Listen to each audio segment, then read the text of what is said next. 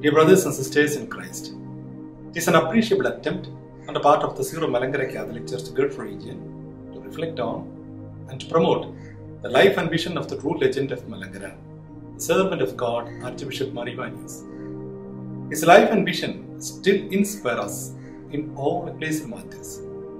Today, I am asked to share with you on the topic the Eucharistic vision of Mar Ivanios. Before entering into the topic, I want to mention the Sitz im Leben or the social context in which his Eucharistic vision evolved. The early 20th century was marked by an urgent need for a spiritual revival in the Malankara Orthodox Church. Lawsuits and other disputes thwarted the peaceful and spiritual atmosphere of the church. The dispute over authority between the supporters of the Metropolitan the supporters of Patriarch were continuing in the Malankara church during that period. Due to the continuous internal conflicts and litigations in the church, the people lost their spiritual fervor and their faith became cold and lifeless. Mar Ivanios was aware of this critical situation of his mother church, which inspired him to pursue opportunities to uplift the spiritual condition of the Orthodox Christian faith. Mar Ivanios was aware that the Eucharistic celebration was seen as a foundation and very center of all Catholic devotion. He was impressed by the spiritual progress of the Catholics of Kerala, especially the Palayago Syrian Christians. Their spiritual growth was deeply rooted in the Eucharistic faith. Whereas the Orthodox Church, the faithful received Holy Communion rather rarely. The legal minimum of once per year was observed by most, usually on Holy Thursday. During his seminary life itself, Mar Ivanios prepared for a spiritual revival in the church by writing sermons and preaching retreats. Understanding this critical condition of the Mother Church, as a Shemasan, he moved from parish to parish to promote catechesis on different sacraments. Before his ordination to the priesthood, Mar Ivanios was called Udasha Shemasan due to his enthusiasm to teach the faithful about the sacraments, especially the Eucharist. Mar Ivanios had a great devotion to the Holy Eucharist. He said, We can offer to God no greater honor than worthily participating in the holy sacrifice. In his book, Love of God, he says, Holy Kurbano is the greatest sign of God's love towards mankind. The Orthodox Church shares the same faith in the Eucharistic faith as the Catholic Church. One of the reasons that actually persuaded Mar Ivanios to embrace the Catholic Church was that the Eucharistic faith is strongly guarded and devotedly practiced in the Catholic Church. Mar Ivanios' devotion to the Eucharist was especially noticeable in the manner in which he celebrated Holy Kurbano. With regard to the celebration of Holy Kurbano, it is attested that people from miles away gathered to attend the liturgical services beautifully performed by Mar Ivanios. Even in the wilderness of Perinad, where his monastery was located, people crowded to take part in his Eucharistic celebrations and other liturgical celebrations which were exquisitely performed. How did Mar Ivanios' Eucharistic vision led him to communion with the Catholic Church? Full communion with the Catholic Church involves a common celebration of the Lord's Supper. The concept of communion of churches is anchored in the Holy Sacrament of Holy Eucharist.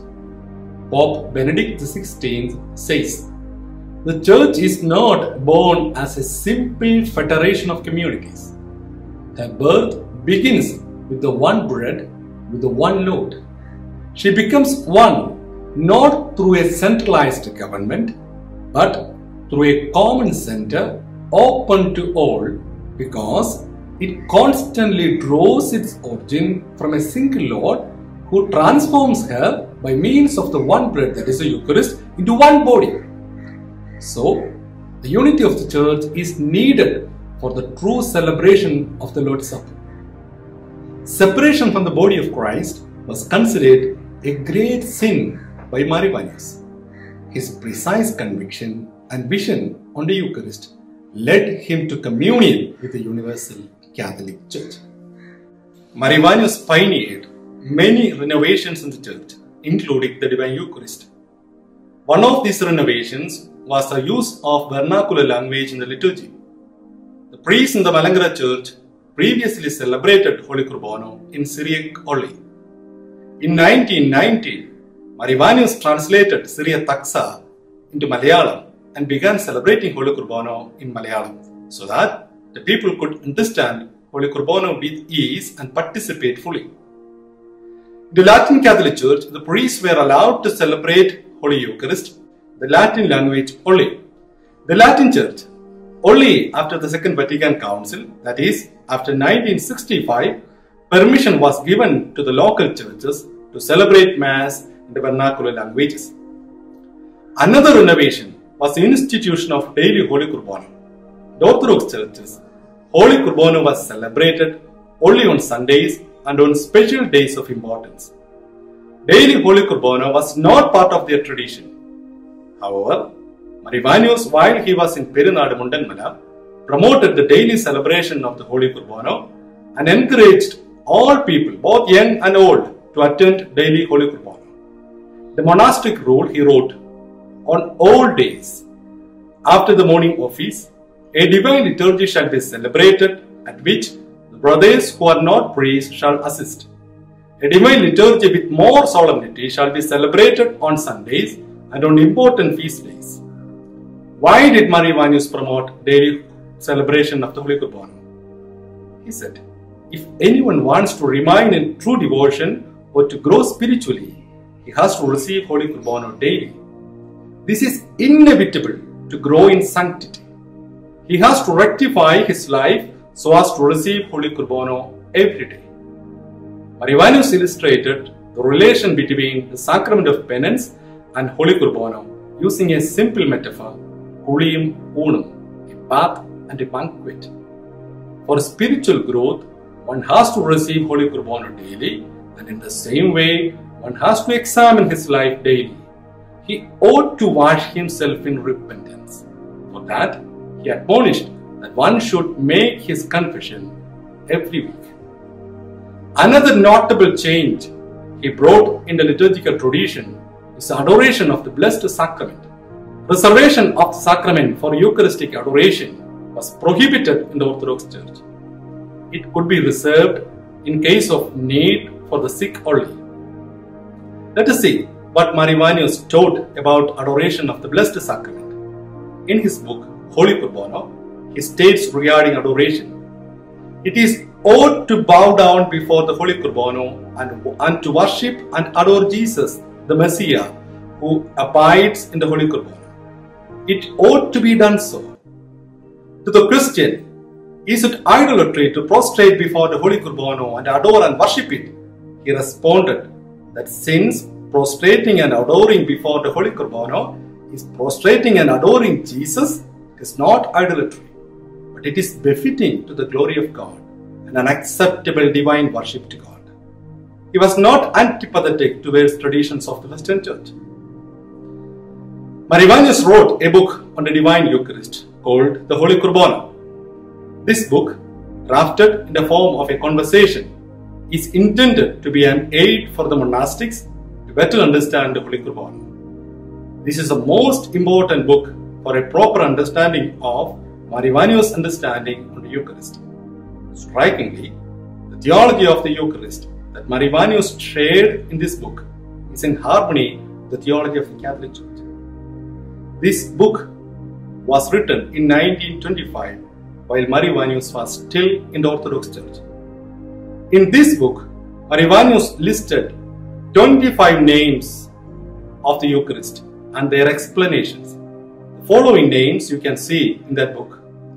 Kurbono, Kudasha, the mystery of life, Emmanuel, Holy Communion, the mystery, the lamb, the Pasch or Passover, the bread of the presence, the heavenly manna, the heavenly table, the sweet fruit, the fruit of life, the Lord's Supper, taste quenching drink, the first fruit, the firstborn, the Eucharist, the purifying burning coal, the sacrifice of atonement, the free will offering, the memorial of our Lord, the chalice of salvation, the liturgy, the perfection of perfections. Some of these names were already in use, and other names he discovered from Syriac documents. This shows his special interest and devotion to the Holy Quran. Mar Ivanios differentiates the Eucharistic bread used in the Eastern traditions and Western traditions. The Oriental churches, hammira or leavened bread made of wheat flour is used for celebrating Holy Quran, whereas patira or unleavened bread is used in the Latin church. The wine used should be fermented juice of the grapes fruits. Like in most liturgical rites, water should be added to the wine. However, in the Armenian rite, wine without mixing water is consecrated. Mar Ivanios told that the Lord instituted Holy Qurbana for two purposes. First one, to celebrate forever the memory of the Lord in the form of his sacrifice. Second one, to give us the holiness and grace which the Lord merited for us through his sacrifice. Let us see how Mar Ivanios perceived the most important topic in the Eucharistic theology, namely the real presence of Jesus in the Eucharist. There were a lot of differences of opinion regarding the presence of Christ in the Eucharist in different churches and denominations. Many theories and theologies developed on this topic. Actually, the real presence of Jesus in the Eucharist is an inexhaustible mystery that the church can never fully explain in words. In order to explain the real presence of Jesus in bread and wine of the Eucharist, the Catholic Church explains it using philosophical terms, substance and accidents. In the act of consecration during the Eucharist, the substance of the bread and wine is changed by the power of the Holy Spirit into the substance of the body and blood of Christ. The mysterious change of the reality of the bread and wine began to be called transubstantiation in the Catholic Church. This terminology is used to explain the real presence of Christ in the Eucharist. In the Orthodox Church, bread and wine are believed to become the genuine body and blood of Christ through the operation of the Holy Spirit. However, the Orthodox Church never described exactly how and when this occurs as it was formulated in the Catholic Church. The Orthodox Church simply states that it is a mystery. Mar Ivanios was aware of the theory of transubstantiation, but he remained silent about it. He describes this change in his own terms. There are two parts for any sacrament. There are an internal invisible and an external visible parts. In the Holy Qurbana, the external visible part is the bread and wine, an internal invisible part is the sacred body and blood of Jesus Christ. Although Mar Ivanios does not use any philosophical terms to explain how this change takes place in the sacrament, he was convinced of the change that happens in the Eucharistic celebration. In harmony with the Syriac tradition, Mar Ivanios used expressions like is formed and it becomes and makes, etc., to illustrate the idea of change. On one occasion, as answer to the question how the bread and wine become the body and blood of Jesus, he answered by saying, By the action of the Holy Spirit, the holy body and holy blood of Christ was formed in the bread and wine. Designating the prayer of epiclesis used in his church, Mar Ivanios indicated the real change in the bread and wine. This is how the prayer reads May the Holy Spirit descend upon and make this bread the life giving, redeeming body, the true body of our God, the Christ. In his book, Mar Ivanios qualifies Holy Qurbana as a sacrifice, and he explained about the sacrificial nature of Holy Qurbana. The sacrifice of Jesus, the Messiah, which was completed through his death on the cross and his ascension, is being offered by Jesus the Messiah eternally before God the Father in heaven. All that God does has an eternal impact. The church on earth, in union with Jesus the Messiah, joins this eternal, everlasting sacrifice in heaven in offering the sacrifice of Jesus the Messiah before God the Father. Through the Holy Qurbana, the Holy Church participates in the eternal sacrifice in heaven and offers before God the Father the sacrifice of Jesus along with Jesus the High Priest. We believe the sacrifice of Jesus on the cross is an eternal sacrifice that does not come to an end. The reality of this sacrifice transcends time and space. I would like to conclude this discussion. Mar Ivanios had a deep faith in the Holy Qurbana, perfectly in accord with the teachings of the fathers of the Church of the Syrian tradition.